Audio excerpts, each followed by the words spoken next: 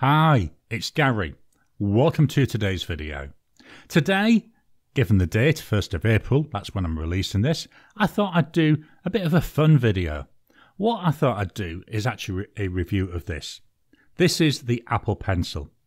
Now, I know it's not a fountain pen. I know it's not something you use on a notepad. It's something you need to use on certain iPad models. I thought I'd review this as if it was a fountain pen though. I thought, well, it could be a bit of a laugh, couldn't it?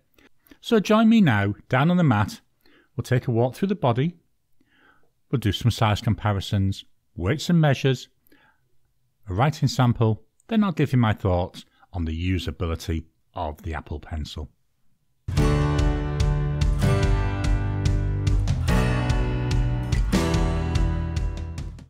Welcome down to the mat. So here we've got the Apple Pencil. Just give a quick turnaround of this. You know, there's a little bit of writing on there. The rest of the pencil, just white. Only colour it comes in is white. Let's take a walk through the body.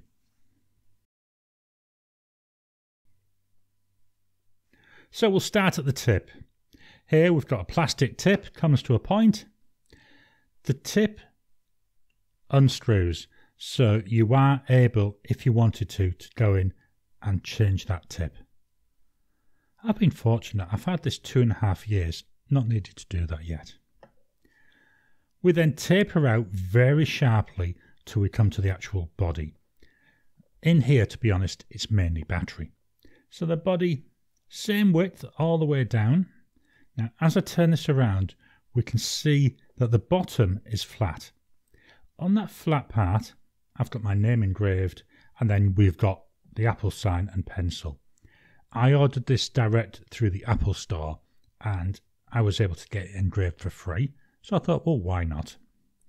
Then we go back around. Again, we're back to that curving body. The top, we've got a dome there. Very simple design. Very simple pencil. It does one thing, and to be honest, I think it does it quite nicely. Let's swap over the view and we'll do some size comparisons. Because of the nature of the pencil, doesn't have a cap or anything like that, I'm only going to do unposted size comparisons today. So Pilot Metropolitan, Lamy Safari, massive difference. Let's fetch in some pens that are in roughly the same price range. The two pens I brought in, TWSBI Draco 215 Australian dollars. Quite a pretty looking pen though. This is a piston filler. The Apple Pencil, that was 219 Australian dollars. And then I brought in a Sailor Pro Gear Slim. I've posted it because that's how I have to use the pen. That was 224 Australian dollars. 14 karat gold nib though. This one's a cartridge converter. Let's swap over we'll do some weights and measures. Here we've got the rule of measuring. Let's fetch in the pencil. There we go. So the length of the Apple Pencil is roughly 16.6 centimeters. The width, that is 0.84 centimeters, so fairly thin. Remember, I hold my pencils quite low. You can tell that when I'm holding it. Let's swap this over and fetch in the scales of weighing. Here's the scales of weighing. Let's fetch in the Apple Pencil. So that weighs in 18 grams, so a fairly light item. We'll swap over now and we'll fetch in the notepad of testing. Here's the notepad of testing that I would normally use. Obviously, this is a plastic pen. This notepad is of absolute no use to me. So let's get it out of the way. What I need to do is fetch in my iPad Pro, which is what I use this Apple Pencil with. Now, just to show you why we've got that flat side, the pencil attaches magnetically to the top of the iPad Pro. And that's actually got some induction charging in there, so that's what's charging the pencil. Let's lay this flat. What I'm using is Apple Notes. I thought this is a nice way to show this pen off. So here we've got the iPad, 12.9 inch iPad Pro from 2020. let's do some writing. So we've got here an Apple pencil. So what you'll notice, because I'm using the Apple Pencil and Apple Notes, it automatically does character recognition and turns it into essentially typewritten rather than handwritten.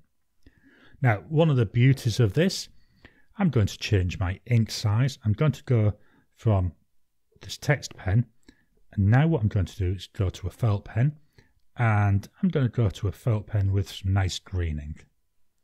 I know it's just gone all unfocused. Let me move that.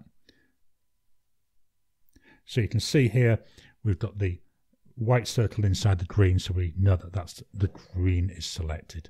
So we'll move back up. So now when I write, I'm going to say greening.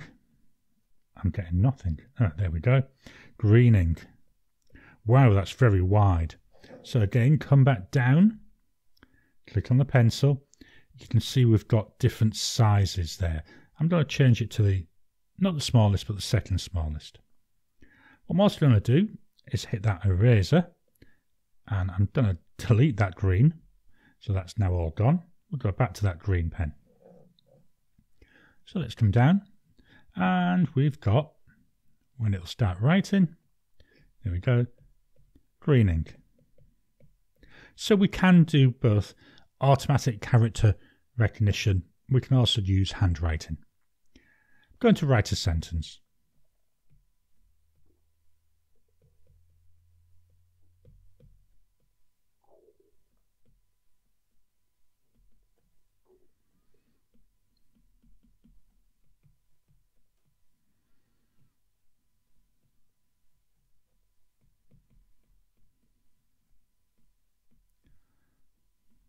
It's not a nice experience. I'm writing with plastic on glass. It's very, very slippy. And I find that it makes a massive impact on my handwriting. Now, I've already shown you where we can get different line widths. So let me just do this again. To go back, go to the narrowest, and then I'll draw a line down and across as a plus. We'll swap to the next one. So you can see I can get different line widths.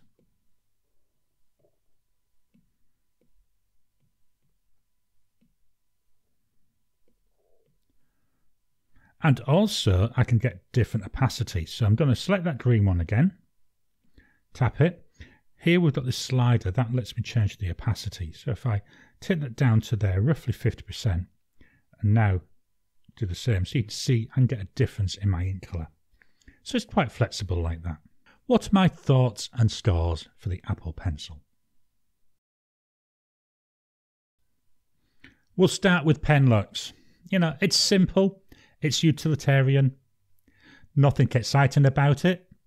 I like that I was able to get my name engraved. A little touch makes a big difference. Pen looks 8 out of 10. Build quality. It's the quality I expect from Apple. I've had this two and a half years, still going strong. I say still on the original nib. Just works. And I must use this pen number of hours every day. I would say I actually use this pencil on here more than what I use a fountain pen. It's very heavily used. 9 out of 10. Writing experience. Very, very slippy. Plastic on glass, not a good combo. I know you can get screen covers which add texture. I've not really used them, so I can't say how much they work, if they do work, or if they're any value for money. The writing experience is actually what drove me back to fountain pens because I was sat taking notes and it was just horrible. The experience was just not nice. And one of the things I keep saying the whole point of a pen is to let you get ideas out of your head and onto paper, or in this case, a screen, in a manner that you enjoy. I do not enjoy using the Apple Pencil on here. What I tend to use this for, yes, I use it for quick notes, you know, one of the features is I can fetch up a quick note.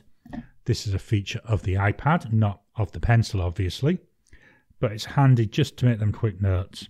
It's also handy if I want to be transcribing text. So, you know, again, we can do our sentence again.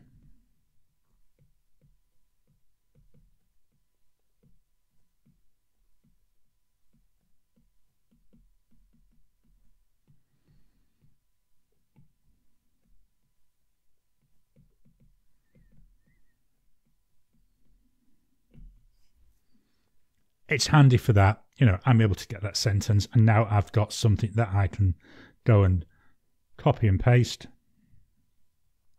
in anywhere that I want. So it's quite useful in for that. But writing experience, six out of 10, and I'm being generous with that.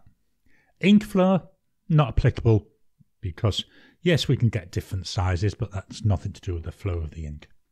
Comfort, very thin. Let me get rid of the keyboard. Very thin, does feel it. Anything longer than a couple of sentences, my hand starts to cramp a bit, especially up here. It's got a good length on the pen though. I say it's mainly battery, I believe. 8 out of 10 for comfort. Value for money. As I've said, I don't often use this now for writing. Yes, I do use a little bit, and it's handy for drawing.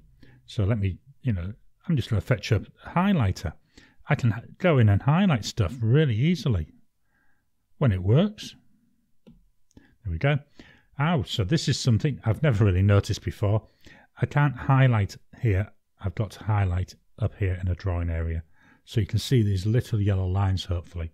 They're delineate, they they delineate between text and drawing.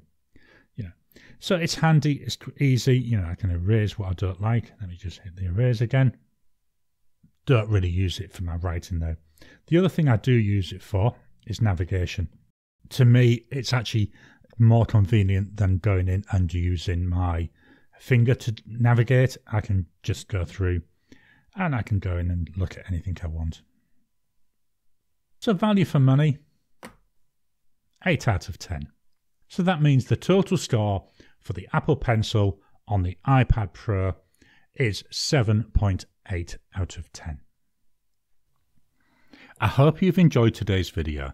I've got to be honest, I do love my Apple Pencil and I wouldn't be surprised if I use this more often than what I use fountain pens.